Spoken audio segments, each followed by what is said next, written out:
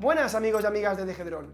Hoy hablaremos de una de las actividades más curiosa e interesante que podemos realizar con nuestra aeronave. Se trata de la fotogrametría y para ello explicaremos cómo obtener una nube de puntos o point clouds. La fotogrametría es la técnica a través de la cual conoceremos las propiedades geométricas de un objeto, volumen y forma, y su situación espacial a través de imágenes fotográficas. En el caso de la fotogrametría aérea, es especialmente eficiente en cuanto a la cantidad de terreno que podemos cubrir, fotográficamente hablando, en un breve periodo de tiempo, obteniendo resultados muy pero que muy satisfactorios. A través de la fotogrametría obtendremos estudios y resultados muy importantes, desde conocer el volumen de un montón de escombros o cemento para conocer cuántos camiones necesitaremos alquilar para poder transportarlos, hasta estudios profesionales en el campo de la restauración de minas. Lo primero será hacer un estudio del terreno, Deberemos tener muy clara la zona a tratar para poder gestionar bien el trabajo antes de comenzar. La altura de los vuelos nos determinará la calidad final del trabajo, pero también el tiempo empleado. A más altura, menos fotografías serán necesarias para cubrir un área, pero peor será la resolución. Tenemos que tener muy en cuenta este factor para gestionar bien las baterías y la velocidad de vuelo.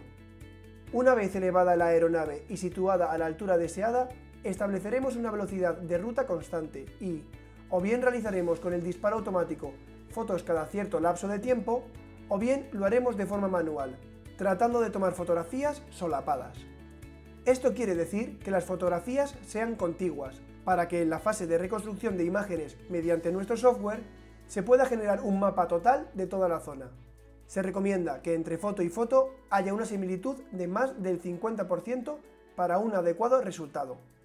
Si estamos realizando un trabajo técnico profesional, contaremos con un técnico topógrafo, el cual, mediante el uso de un GPS diferencial, tomará datos exactos para un correcto posicionamiento del modelo que generaremos. Existen ya diferentes programas y aplicaciones con los que podremos establecer waypoints y distribuirlos en forma de malla para cubrir áreas, de tal modo que podremos programar los vuelos de forma automática y no tendremos que preocuparnos en si se cubre todo el terreno o no. Una vez que tenemos el trabajo de campo realizado, lo ingestaremos en un programa de procesamiento de imágenes destinados a la fotogrametría, tales como el PhotoScan Pro de Agisoft o el Pix 4D.